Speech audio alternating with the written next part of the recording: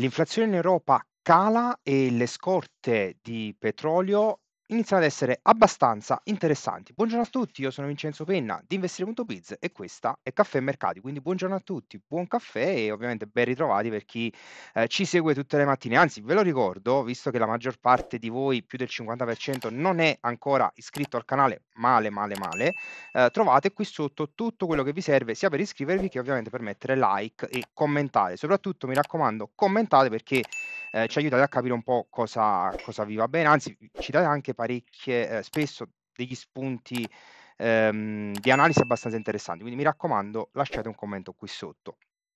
Tornando però al grafico e soprattutto al calendario economico, che cosa abbiamo visto ieri? Eh, ieri, mercoledì 3 aprile, eh, è uscita l'inflazione eh, in Eurozona che è stata Mhmm, al di sotto delle delle sia delle aspettative che del mese scorso. Infatti si è attestata al 2,4% per tutta l'Eurozona. Purtroppo, ehm, il dato che vedete qui sopra, mhmm, non ci fa molto piacere a noi italiani perché la disoccupazione in Italia è leggermente aumentata dello 0,2% uhm, rispetto al mese scorso, però vabbè, ehm, an vediamo un po' com'è come si metterà nei prossimi mesi. Ciò che invece ha sorpreso abbastanza i mercati state, ehm, è stata la variazione dell'occupazione ADP, che vi ricordo anticipa leggermente il dato che poi sarà venerdì eh, degli NFP, infatti le buste paga sono state al di sopra eh, sia delle aspettative che del mese scorso, quindi ancora una volta eh, il mercato occupazionale americano si dimostra essere effettivamente resiliente, anzi non soltanto resiliente, ma molto molto forte.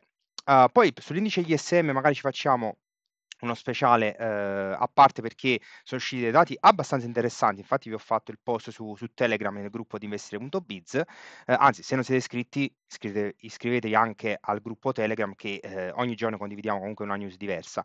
Ciò che invece ehm, ho visto un po' di dati e mi sono diciamo, mi sono, eh, sono state abbastanza interessanti eh, sono appunto le scorte di petrolio e anche quelle del natural gas. Infatti poi eh, ve le faccio vedere adesso, mh, mm, trattiamo di entrambe le cose nella, nella puntata di oggi.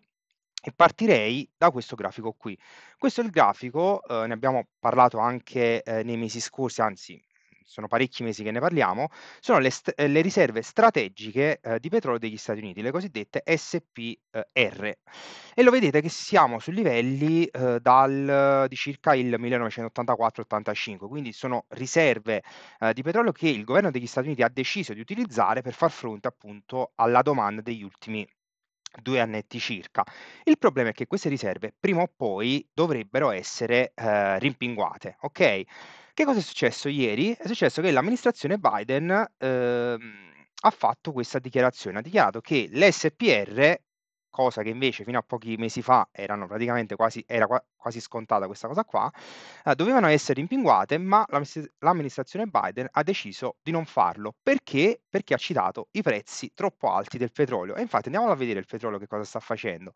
E il petrolio ha raggiunto gli 85 passa eh, dollari al barile, anzi addirittura 85,38, si è portato quindi su una, eh, anzi al di là della resistenza sia settimanale che mensile e adesso si trova sulla resistenza annuale del 2022, quindi in zona 87 fino agli 80, sì, 88-89 dollari.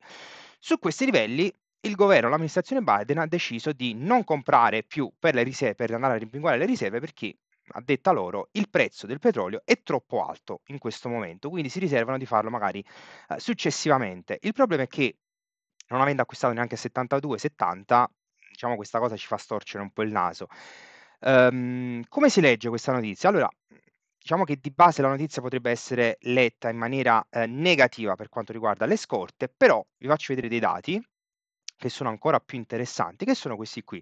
Allora, qui in una, in una sola diapositiva ehm, vi faccio vedere come sono messe le scorte, diverse diciamo per quanto riguarda le diverse categorie, del petrolio. In alto a sinistra appunto ci sono le SPR e, mm, e diciamo è paragonato l'andamento attuale, la linea in nero, rispetto all'andamento degli ultimi dieci anni, praticamente dal 2015. E vedete che eh, rispetto, al 2000, diciamo, rispetto agli ultimi anni siamo veramente sui livelli bassissimi, sia per quanto riguarda le SPR, sia per quanto riguarda il Uh, la benzina per, per, gli aerei, che è questo in alto a destra, sia per quanto riguarda proprio la benzina che mm, si va a mettere praticamente nelle, nelle automobili, che è questo in basso a sinistra, e sia ovviamente per gli inventari totali. Siamo sui livelli più bassi mai visti degli ultimi eh, 10 anni, 9 anni praticamente. E questo ovviamente se da una parte la notizia magari poteva essere negativa, dall'altra invece andando a vedere la totalità delle riserve, la cosa si fa abbastanza interessante e probabilmente il prezzo attuale non, non è così alto come invece il governo degli Stati Uniti vuole, uh, vuole far credere. Ovviamente, essendo, um, facendo diciamo testo anche la componente tecnica e quindi la componente grafica, dobbiamo andare ad individuare dei livelli chiave dai quali diciamo, sapere eh, come muoverci. I livelli chiave li abbiamo individuati come sempre tramite il nostro Biz Profile. Vi ricordo che se non avete il Biz Profile vi basterà creare semplicemente un conto su thrive.com slash it e ovviamente capitalizzarlo per ottenere appunto l'indicatore gratuito. Uh, le zone chiave sono le medesime, quindi sono um, la prima zona tra 82 dollari e 80 dollari,5, che è appunto questa uh, zona di agglomerato volumetrico, la prima zona, mentre la seconda zona un po' più uh, distante dai livelli attu attuali, infatti parliamo di circa un 8-9%, è la zona compresa tra i 78 e i 76 dollari al barile. All'interno di queste zone sarà molto interessante poter valutare un eventuale posizionamento o long o short a seconda dei casi, a seconda se viene rifiutata o se viene effettivamente rotta a ribasso. Quindi queste sono le zone sul, ehm, sul VTI, sul petrolio, sull'oro nero e vedendo un po' quello che sono state le riserve, ovviamente noi siamo molto fiduciosi che ci potrebbe essere ehm, diciamo una, una, forte domanda mondiale nel, nei prossimi eh, diciamo nelle prossime settimane, nei prossimi mesi. Per quanto riguarda invece il natural gas, vi ricordo che le riserve del natural gas non sono ancora uscite, infatti escono oggi alle ore, eh, alle ore 16.30